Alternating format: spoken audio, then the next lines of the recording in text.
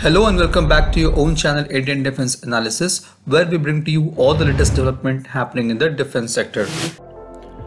V-SHORAD is a man-portable air defense system designed and developed indigenously by DRDO's Research Center Imarat RCI Hyderabad in collaboration with other DRDO laboratories and Indian industry partners. The missile is being developed for neutralizing low altitude aerial threats at short range such as UAVs, helicopters and aircrafts. In the multi-layered air defense network, V-SHORAD is going to be the last line of defense. The missile system is going to be a tripod-launched short-range surface-to-air missile. The missile design, including the launcher, has been highly optimized for portability. The V-SHORAD system will incorporate many novel technologies including miniaturized reaction control system RCS and integrated avionics.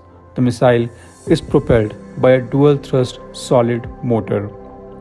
The missile will have a length of 2 meters and diameter of 90 mm. The missile will weigh 20.5 kg and will have effective range of 7 kilometers.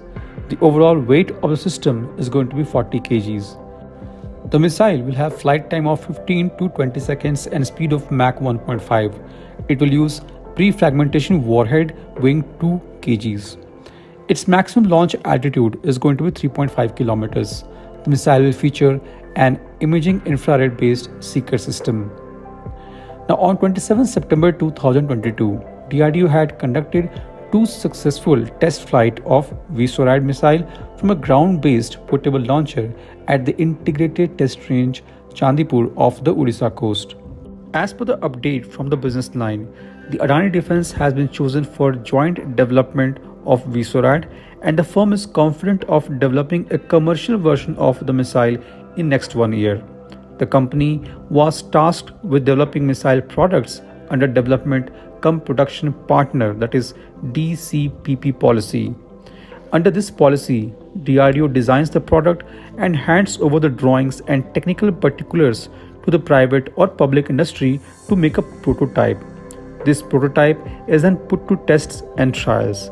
Based on the trial's outcome, these prototypes are allowed for commercial production.